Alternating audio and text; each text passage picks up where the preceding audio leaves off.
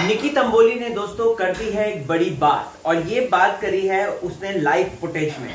अब ऐसे में क्या वो बोलती है दोस्तों, मैं आपको समझाने की कोशिश करता हूँ। आ गया है होस्ट एंड दोस्त राहुल भोज, और स्वागत है आपका फीफा फूज में। बिग बॉस बोले तो फीफा फूज चैनल को सब्सक्राइब नहीं किया तो करके आगे बढ़िए, और बेल आइकन को ज़रूर प्रेस कीजिए।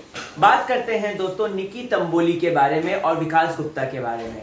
हम सब जानते हैं दोस्तों कि निकी तंबोली जो है, वो बिग बॉस के घर में एक अड़ियल घोड़ी है राइट वो अपनी मन मर्ज़ी की करती हैं।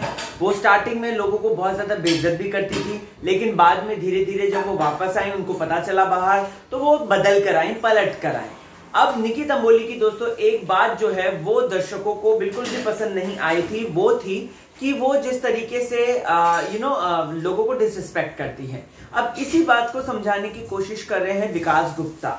विकास गुप्ता कहते हैं कि सिंगल आउट मत करो राखी को सिंगल आउट मत करो किसी को भी। तो निकी कहती है कि मैं सिंगल आउट तो कर ही नहीं रही हूँ। इनफैक्ट अर्शी और एजाज ने उसको सिंगल आउट किया है। मैंने तो कुछ भी नहीं किया है और मैं तो हँसी मज़ाक करती ही रहती हूँ और मेरा तो ऐसा है नहीं राखी के साथ कुछ भी। मैं तो उसके साथ totally you know hate love and hate relationship share कर रही हूँ।